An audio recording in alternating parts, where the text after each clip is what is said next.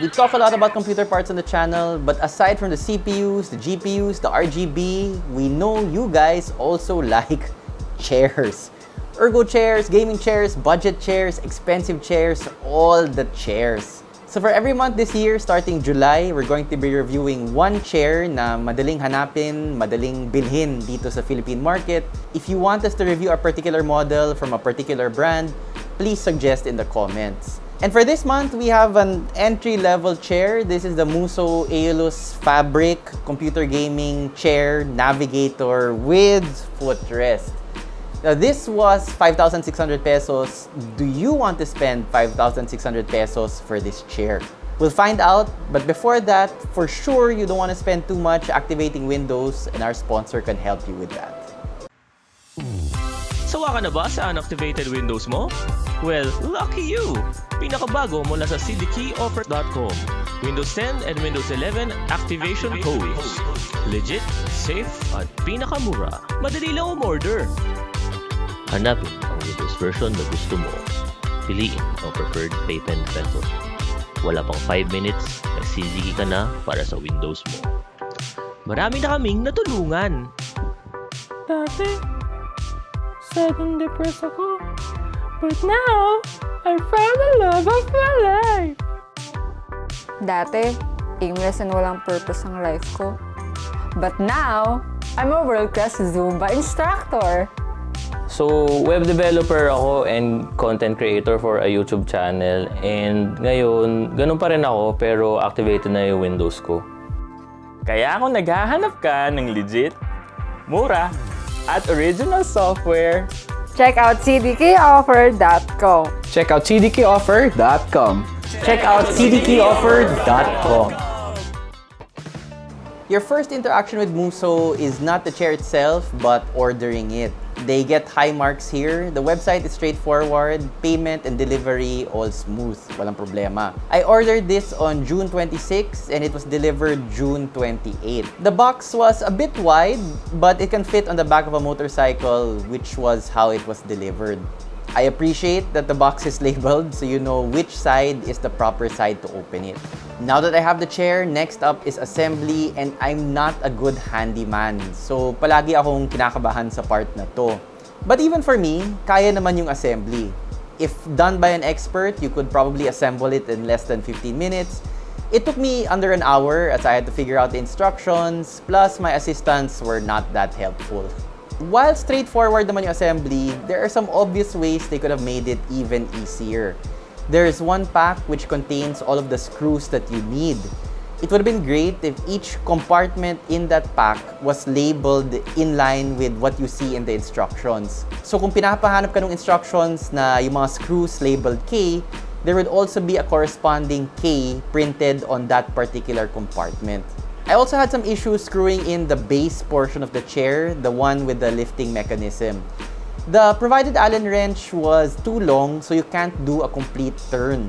You turn it as far as you can, and then you have to remove it and turn it again until the screw finally goes in all the way. Some of the screws don't go in smoothly, like when I was putting together the legs of the chair.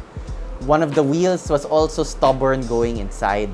So yes, there are some quality issues, but all were manageable and not unexpected for the price point. What is a bit unexpected is that the zippers do not have any zipper tongues or yung pull tabs. I understand having to cut some corners, pero grabe naman. Magkano ba naman yung mga yon? I don't think I'm even nitpicking. It's just really easy to spot where the craftsmanship or quality is just off. Pero sige, Overall, assembly was very doable by one guy, even if assisted by little monsters who were as helpful as the average minion. So now the chair is ready to go. How was it to use? Now before we start on the chair experience, you should know I'm around 5'9 and 145 pounds. Height and weight are often critical in determining how comfortable a particular chair is for you and we often get asked in the reviews for our dimensions so that the viewer can figure out if the chair is right for them. Now, I am used to a slightly larger chair area. I, I don't need as large a chair as the Sharkoon. I'm just being comfortable, okay? I mean, it's such a massive chair, so I have to. Um, I, I find I find this position to be comfortable actually. That's an absolutely massive chair. But I do want a little room to Indian sit, raise my knee, shift position, which you see me do a lot during my streams.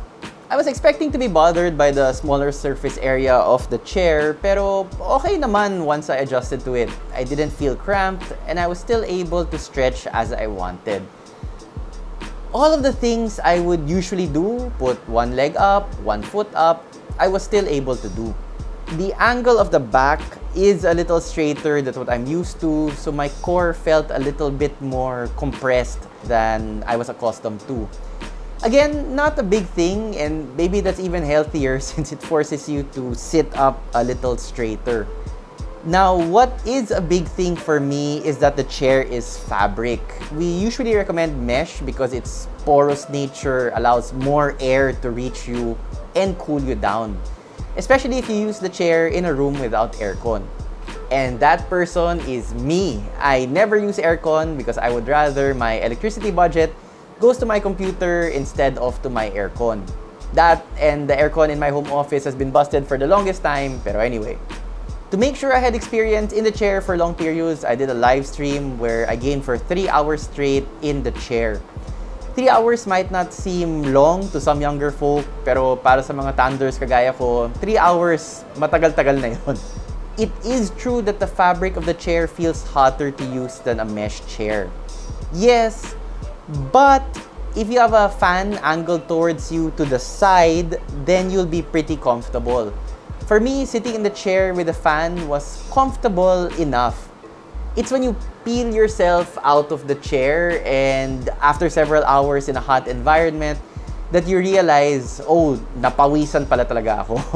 so it's not uncomfortable when using the chair, but afterwards, you do feel a bit sticky kung mainit, kung matagal mong ginamit. Speaking of sticky, chairs for computers used by guys usually end up being stained by bodily fluids. Bodily fluid which escapes after exertion. And I want And by bodily fluids, I mean, of course, sweat. To simulate this bodily fluid, my assistant minion applied slime to some portions of the chair. Now, I have to admit, I was not planning to test this, but since nandyan na yung stain, and it does look like a stain that would happen in the regular course of business of using a chair like this, I decided, sige, let's test cleaning also. For the cleaning test, I used water mixed with detergent, scrub scrub, rub rub, wash out, and then I let it dry overnight. Unfortunately, the next day, that didn't seem to do the trick. Nandun pa rin yung stain. They might have gotten a little smaller, a little lighter, pero very noticeable pa rin sila. Now, to be fair, slime is notoriously difficult to get off everything. For general dust, general dirt, I guess a short spot wash would do the trick. Although more stubborn stains, I don't know if you have to soak it or something, just something to keep in mind if you do get a fabric chair. Now, I keep mentioning the fabric because I really like its texture compared to the bland smoothness of plastic mesh. Plus, fabric allows you to have designs and aesthetically, fabric chairs can look a bit more distinctive compared to mesh chairs. What's underneath that fabric, the cushioning, will largely determine if you're having a comfortable time. Before that though, I do have to mention I love the padded armrests. I rest my arms a lot on these things and the feel of the soft fabric is soothing, especially compared to the bare plastic of a usual ergo chair. The padding of the chair itself is just alright. The bottom part of the chair, the actual seat, is comfortable enough. The surface you're resting on doesn't feel hard. But this doesn't just cup or support your butt as well as a usual ergonomic mesh chair. For the chair part, the upholstery or padding doesn't feel plush. It's not uncomfortable, but neither is it particularly inviting. Your butt will not scream, don't leave this chair when you sit in it.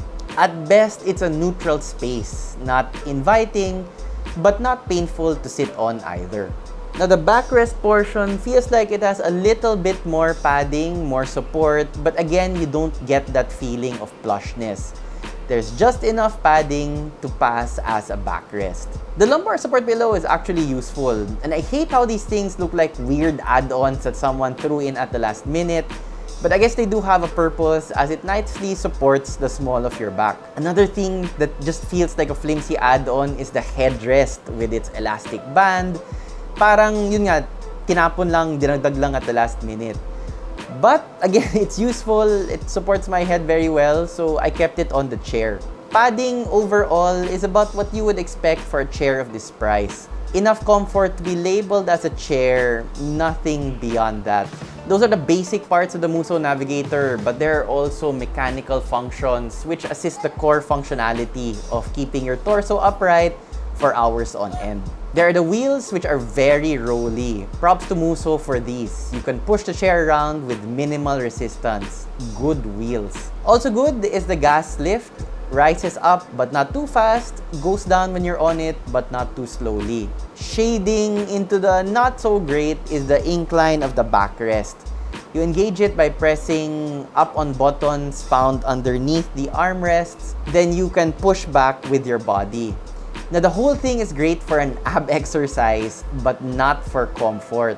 The backrests fit into those predetermined angles, so you need to strain to get into one of those angles.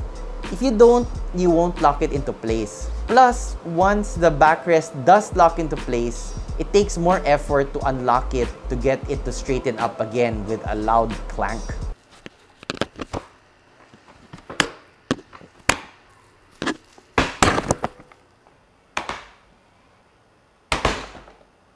But the worst mechanical accessory part for me is the footrest, which I paid extra for. It's pretty useless, too short to actually be a footrest, and the sliding function is purely manual. You need to slide it out, and that takes some effort. Save yourself some money. I wish I hadn't gotten the footrest version and gotten just the basic standard version of the Navigator. Overall, how do I feel about this entry-level chair? For 5,600, it's decent. I don't feel na naloko naman ako. But I also don't feel wowed either na parang sobrang great value niya, sobrang steel, sobrang find. I think with a little bit more effort and a little bit more material, this would have been great for the price of 5,600. As it is now, it just feels alright. I like the fabric, I like the color, I like the wheels. The chair part itself is just so-so. If you're looking for a decent chair on a budget, then the Navigator is that. Sakto lang for its price point. It does seem solid enough that it will last for a relatively good amount of time. I doubt though the integrity of the padding, how long it will last, especially if you're a more heavy-set individual. It is what you get for this price point. Not great, not bad, sakto lang for the price. So we have five more chairs again for this year. Tune in next month and we'll see what we have then. Thanks for watching.